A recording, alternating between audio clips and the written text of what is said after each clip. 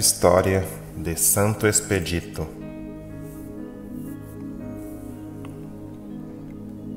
Santo Expedito não tem uma data de nascimento conhecida.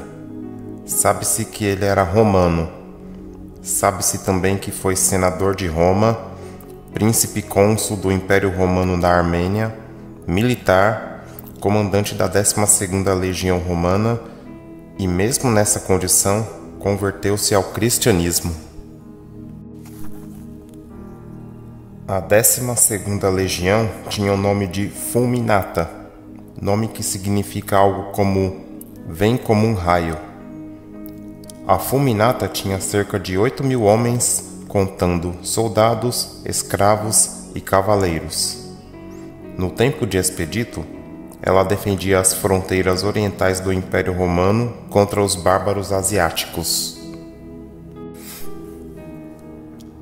Expedito comandou a 12ª Legião de 296 a 303 d.C.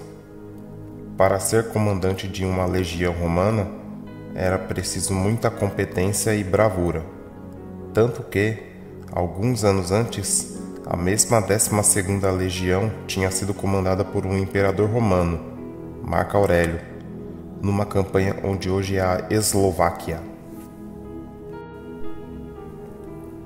Sabe-se que Expedito era um líder competente. Seu cargo equivaleria hoje ao de um general. Ele se tornou famoso por manter a disciplina dos soldados e todos o respeitavam. Por outro lado, como a maioria dos soldados romanos, o comandante Expedito tinha uma vida devassa, rodeada de luxo, prazeres e fama. Conversão ao cristianismo. O primeiro contato do comandante Expedito com o cristianismo aconteceu dentro da própria 12ª Legião. Com efeito, uma parte dos soldados da 12ª era formada de cristãos.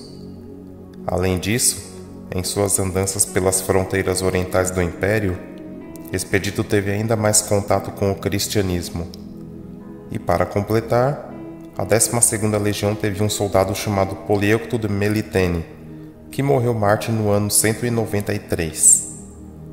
A semente do cristianismo e do sangue dos mártires nunca cai na terra em vão. A procrastinação de Santo Expedito Expedito era um líder competente na condução da 12ª Legião, tanto nos tempos de paz quanto nas batalhas. Um comandante vitorioso na carreira militar. Porém, quanto à sua vida espiritual, tinha o vício da procrastinação, isto é, deixar para depois, adiar. Ele simpatizava com a mensagem de Jesus admirava os ensinamentos do Mestre de Nazaré e via no Evangelho palavras que ninguém jamais tinha dito antes na história humana. Por isso, ele pensava em um dia converter-se de verdade. Esse dia, porém, ficava sempre para mais tarde, era sempre adiado. O toque de Deus. Depois de alguns anos procrastinando, Expedito foi tocado pela graça de Deus. Certa noite, teve um sonho que mudou sua vida.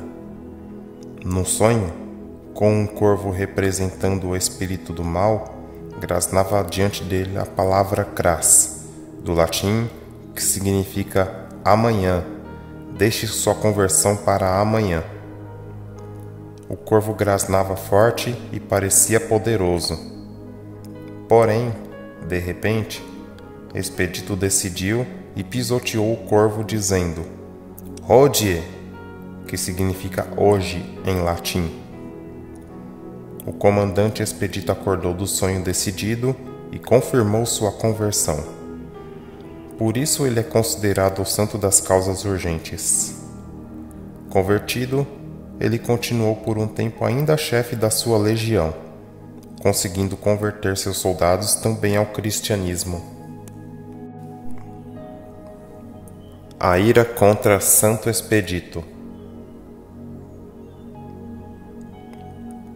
Com a conversão de Expedito e da sua tropa, o imperador Diocleciano começou a perseguir o santo e seus soldados. A importância de seu posto fazia dele uma influência muito forte a favor do cristianismo dentro do Império Romano. Por isso, ele se tornou alvo especial do imperador. A morte de Santo Expedito. Santo Expedito foi preso pela ordem de Diocleciano e foi forçado a renunciar à sua nova fé. Porém, ele não renunciou. Seus castigos começaram pela flagelação romana. 39 chicotadas com o flagrus, chicote que dilacera a pele e causa hemorragia.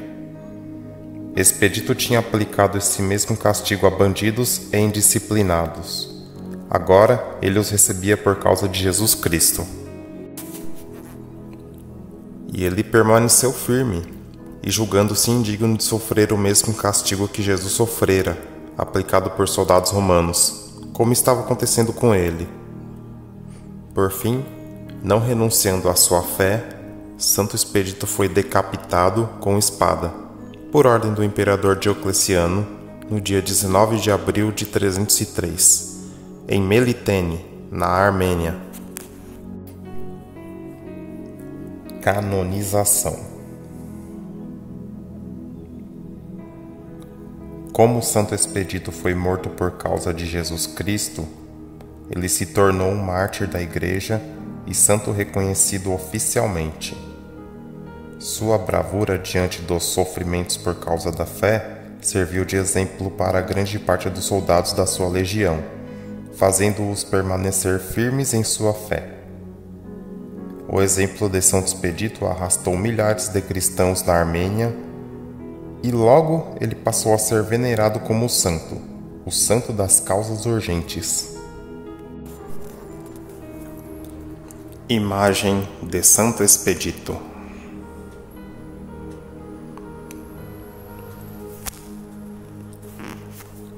Santo Expedito é representado como um comandante romano, vestindo uma túnica branca, uma armadura de superior e um manto vermelho sobre os ombros.